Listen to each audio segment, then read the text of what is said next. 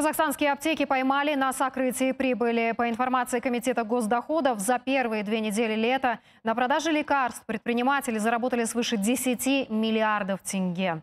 При этом почти 900 бизнесменов не использовали кассовые аппараты. Были и те, кто выбивал чеки только в определенные дни. Соответственно, в другие выручка была по нулям. Ну а некоторые ежедневно фиксировали одну и ту же прибыль, например, 700 или 1000 тенге. Впрочем, по официальным данным, большинство владельцев аптек все же оказались добросовестными и отразили реальные доходы. Чиновники в очередной раз попросили казахстанцев требовать чеки.